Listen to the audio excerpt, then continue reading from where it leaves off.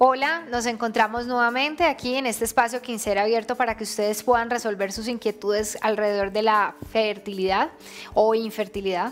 Eh, hoy vamos a hablar de un tema que por muchos años ha sido tabú, eh, que ha mantenido a muchas personas a distancia por considerarse una, una técnica tal vez que se sale como de lo convencional, pero que hoy cada vez en estos centros de fertilidad estamos convencidos que se convierte en una nueva esperanza y en una nueva oportunidad para las parejas que no tienen otro camino para tener hijos. Estamos hablando de la ovodonación o donación de óvulos.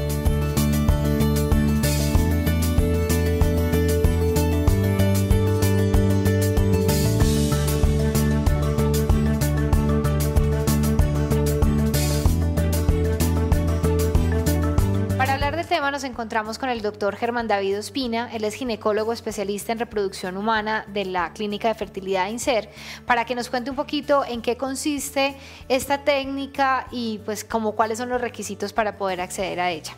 Es muy frecuente que muchas mujeres requieran para poder lograr el embarazo utilizar óvulos de una mujer donante. Esto sucede básicamente en dos tipos de mujeres. Primero las mujeres que por alguna razón durante su vida perdieron sus ovarios o perdieron la función ovárica. Mujeres que, por ejemplo, tuvieron endometriosis o tuvieron algún tipo de cáncer o alguna cirugía, razón por la cual sus ovarios dejan de funcionar. O mujeres en las cuales, desde el punto de vista genético, tienen una menor cantidad de óvulos y los óvulos se acaban más rápido de lo esperado. Y las otras mujeres son aquellas que ya tienen edades mayores de 40, 42 años en adelante, que simplemente por fisiología ya no producen óvulos de buena calidad o producen muy pocos óvulos y tienen que recurrir a un tratamiento con óvulos donados. De forma tal que si lo miramos, son muchas mujeres hoy en día que necesitan recurrir a este tipo de procesos. Sobre todo porque hay un fenómeno social muy importante y es que las mujeres están postergando un poco su maternidad. Si miramos históricamente, hace 40 o 50 años, las mujeres embarazadas muy jóvenes, de forma tal que a los 25 o 30 años ya tenían un número muy elevado de hijos.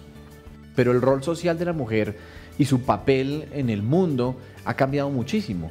Y la mujer tiene otras prioridades antes de la fertilidad. Prefiere primero estudiar, primero trabajar, lograr una estabilización desde el punto de vista económico, social, emocional y luego si quieren tener hijos. Pero desafortunadamente muchas veces cuando la mujer llega a ese punto, los óvulos no tienen la calidad suficiente para poder embarazarse. Son esos casos en los cuales tenemos que utilizar una mujer donante usualmente mujeres entre 20 y 25 años, que le donen los óvulos a las mujeres mayores o con algún problema ovárico que no se pueden embarazar con sus propios óvulos. ¿Por qué no le ampliamos un poco a las pacientes que nos están observando en este momento, doctor, en qué consiste el tratamiento de la ovodonación? El tratamiento de donación de óvulos es relativamente sencillo para las mamás que son receptoras. Previamente tenemos que escoger una donante de común acuerdo con la pareja que va a recibir esos óvulos y luego lo que hacemos es sincronizar los periodos menstruales de la mamá que va a recibir los óvulos donados y de la mujer donante. De forma tal que médicamente lo podemos hacer con tabletas y hacemos que las dos pacientes menstruen más o menos de forma simultánea. A la mujer donante le estimulamos los ovarios para recuperar sus óvulos y a la mujer receptora le preparamos su útero para que reciba posteriormente los embriones. Técnicamente no es un procedimiento complicado, es un procedimiento sencillo y lo más importante diría que radica en la escogencia de la donante y en tener un acuerdo con la pareja que va a recibir los óvulos donantes en estar seguros de ser esa la persona que quieren utilizar para su procedimiento. Me surge a raíz de lo que usted nos dice, doctor, una inquietud con relación a, a qué tanto yo puedo elegir las características físicas, por ejemplo, de la donante de ese, de ese óvulo, porque finalmente serán las características físicas que podría llegar a tener mi bebé. ¿Yo tengo oportunidad de seleccionar o de escoger algo o realmente es al azar y es lo que haya en el momento? En Colombia no existe una legislación específica con respecto a tratamientos de reproducción humana. Eh, tenemos algunas normas del INVIMA, que es el ente que regula el funcionamiento de centros de fertilidad como nosotros, y de acuerdo a esas regulaciones, los procesos de donación de gametos son anónimos, tanto de donantes de óvulos como donantes de semen. Nosotros tratamos de hacer que la pareja que va a recibir los óvulos donados conozca características básicas de la donante. Podemos darle datos como aspecto físico, estatura, color del pelo, color de los ojos, color de la piel, grupo sanguíneo. Y nosotros tratamos de hacer que esa mujer donante sea lo más parecida que podamos a la mamá que va a recibir los óvulos, porque físicamente en el futuro se va a parecer a la mujer que donó los óvulos y va a tener rasgos seguramente de su madre por la crianza y por el embarazo como tal, pero sí podemos dar esa información básica para que los padres futuros tengan esa información. Desde lo científico, digamos que no hay mayor complejidad en lo que significa un tratamiento a través de donación de óvulos. Lo que me surge son inquietudes a través del tema psicológico. ¿Qué tantos mitos hay alrededor de esto? ¿Se genera algún tipo de rechazo de esa mamá porque considera que no es su bebé? ¿Qué pasa alrededor de la mente de una mamá que puede ser incluso una de las razones por las cuales hoy muchas parejas están reacias a tomar la decisión? Incluso yo iría más allá, tanto en la donación de óvulos como para la donación de esperma. ¿Qué tanto puede desarrollarse el sentido de pertenencia de una mamá por un bebé que no posee su material genético original? Eh, y yo les diría que el vínculo entre una mamá y su bebé se genera no porque se ponga una célula, que es un óvulo con el material genético, se genera mucho más por el embarazo como tal, por tener la mamá dentro de su cuerpo a su bebé darle toda la nutrición, la circulación, los nutrientes, las proteínas que lo van a hacer crecer y lo van a hacer desarrollar y darlo a luz. Ese vínculo es en realidad muchísimo más fuerte que el hecho de poner una célula como un óvulo. Eso lo hemos visto durante muchos años de hacer este tipo de procesos. Y al principio, en la historia de la fertilidad, pues nos generaba muchas dudas. No sabíamos qué tanto se iba a desarrollar ese, ese vínculo y esa relación estrecha entre la mamá y su bebé. Pero con los años nos dimos cuenta que los resultados son impresionantes. Hay un vínculo tan, tan estrecho que casi que pasa a un segundo plano el hecho de haber tenido un tratamiento con óvulos donados al principio. Esas mamás cuando quedan en embarazo y cuando dan a luz sus bebés, casi que olvidan por completo el origen de los óvulos donados.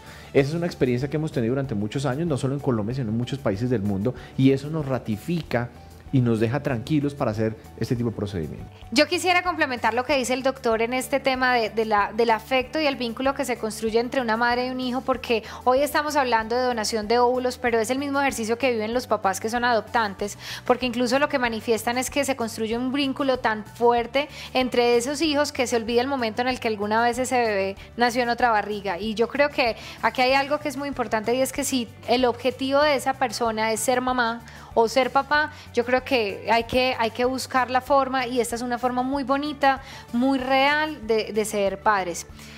Quiero, quiero, digamos que ya hemos hablado de la receptora, de esa mamá que va a recibir los, los óvulos. Yo quisiera hablar un poquito de esa donante, porque, porque sigue siendo, si es un mito desde recibirlos, ¿qué tan mito es incluso desde que los voy a donar? O sea, ¿cuáles son las características? ¿Yo qué debo hacer? ¿A dónde me debo acercar? Porque, porque yo creo que es muy importante que las pacientes, en este caso más que eso, las personas que quieren participar en este hermoso proceso, que nos cuente cómo, qué deben hacer, cómo pueden contactarnos. Nosotros buscamos mujeres donantes, ojalá que tengan edades entre 20 a 25 años, que hayan tenido al menos un hijo, porque eso nos prueba que en realidad sus óvulos pueden generar un bebé y que ese bebé esté sano, que no tengan ningún tipo de enfermedad genética y que no tengan ningún tipo de enfermedad hereditaria en la familia, eh, que sean mujeres eh, sanas desde el punto de vista eh, cardíaco, pulmonar, renal, que no tengan sobrepeso. Y básicamente ese es el grupo de mujeres que buscamos para que sean donantes. Es muy importante saber que el hecho de donar óvulos no va a generar ningún riesgo ni en la fertilidad futura ni en adelantar la menopausia, que son mitos frecuentes que hay con respecto a la donación de óvulos. Lo que hacemos nosotros es simplemente recuperar un número de óvulos que esa mujer tiene ese mes y que de todas formas se iban a perder. Si nosotros no hacemos nada, esos óvulos se mueren. Lo que hacemos nosotros ese mes es que con medicamentos rescatamos los óvulos que de una u otra forma se iban a, a, consumir, de forma tal que eso no va a adelantar la menopausia, no va a afectar la fertilidad futura y hoy en día tenemos muchas estrategias para hacer este procedimiento altamente seguro, con un, índice realmente muy, muy, muy bajo de complicaciones para la mujer donante. De forma tal que ese también es un llamado a las mujeres que quieran participar en este programa. Pueden contactarnos en nuestra página web www.inser.com.co o en nuestros teléfonos, se acercan, pueden tener una valoración gratuita, una consulta sin costo para explicarles más en detalle cómo participar de este programa de donación. Con esto hemos ampliado lo suficiente el tema de la donación de óvulos. La invitación queda abierta tanto para las parejas que consideran que esta es una muy buena esperanza para ser padres y también para las donantes para que se animen y para que ayuden a que más padres vuelvan su sueño realidad.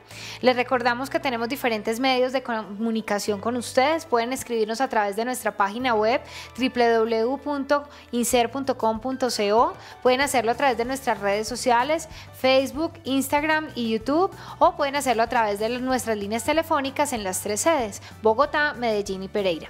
Gracias por acompañarnos.